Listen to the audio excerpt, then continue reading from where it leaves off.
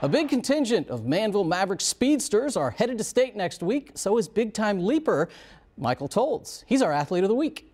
So, how many meets have you had this year? 15. How many times have you come away a winner this year? All 15. Sounds like the makings of a very special season for Manvel high jumper Michael Tolds, who's been a natural since this wide receiver started rising up. And we kind of threw him a, a slant go ball in the end zone. He just kind of jumped on top of a kid. I was like, that's my new high jumper. With some pointers on technique and hard work, he keeps raising the bar. And once he figured out what he was doing, he went 6'6", 6'8", and then this year he hit 6'9", and then 6'10". I was like, when is he going to stop? Seven foot was my goal this year. Once I got seven foot, I made a new goal, seven five.